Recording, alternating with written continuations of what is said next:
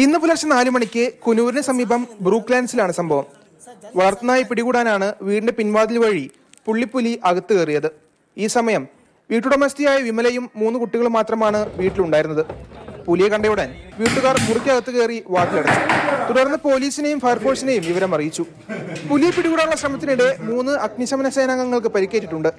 ഇതിനിടെ പുലി ഒരു പ്രാദേശിക മാധ്യമപ്രവർത്തകനെയും റവന്യൂ ഉദ്യോഗസ്ഥനെയും ആക്രമിച്ചു. വീട്ടുകാരെ സുരക്ഷിതരാക്കി പുറത്തിറക്കിയിട്ടുണ്ടെങ്കിലും നിലവിൽ പുലി വീടിനകത്ത് തന്നെ തുടരുകയാണ്.